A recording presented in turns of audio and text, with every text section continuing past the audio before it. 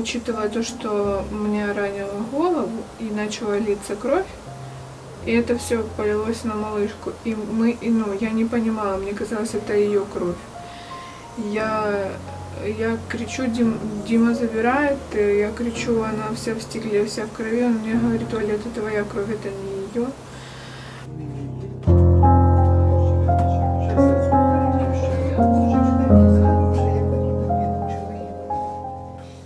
Проснулся от взрыва, а я проснулся от Олиного крика а, на фоне а, тупо трескающегося стекла, когда оно вот разлетается. Вот это, взрыва реально даже не было слышно, потому что стекла намного громче летели.